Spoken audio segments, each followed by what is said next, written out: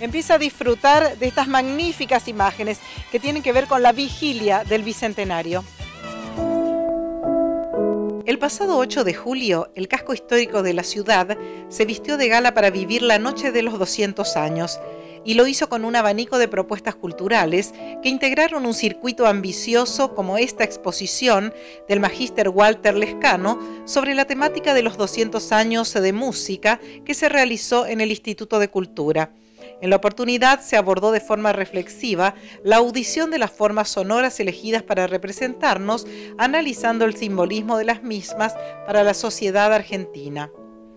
En imágenes, las intervenciones teatrales callejeras sobre momentos significativos de Corrientes en los 200 años de historia argentina que se realizaron sobre calles San Juan y Quintana.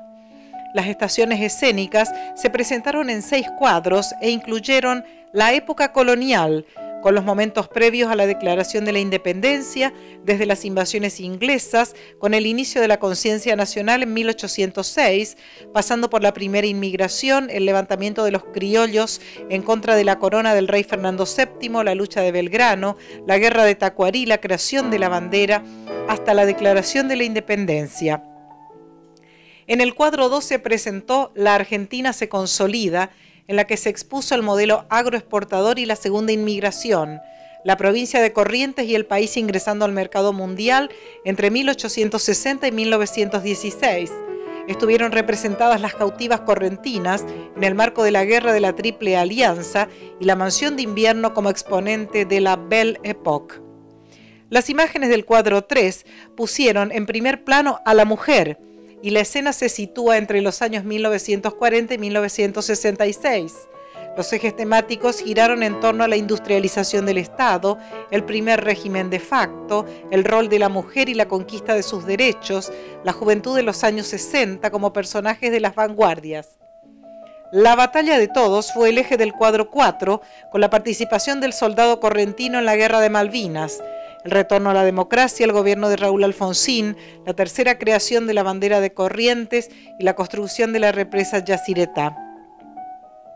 La cultura correntina en el siglo XX se representó en el cuadro 5 y se expusieron los lenguajes artísticos más representativos del acervo cultural correntino como el chamamé, el carnaval, los murales, la transmisión oral de mitos y leyendas y las expresiones artísticas más emergentes de los últimos años.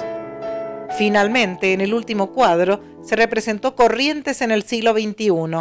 El ensamble del escudo provincial se realiza de manera coreográfica, combinando la dramatización y la expresión corporal en una apuesta con una impronta futurista y de mucho dinamismo y fuerza.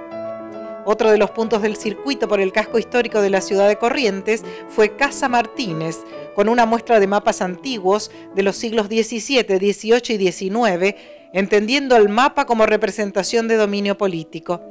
En el mismo lugar se interpretó música de corrientes en vivo y así lo reflejan estas imágenes. La vigilia del Bicentenario continuó en el Museo de Artesanías, emplazado en las esquinas de Salta y Quintana, con un patio de nuestras tradiciones, con la presencia de artesanos trabajando en vivo.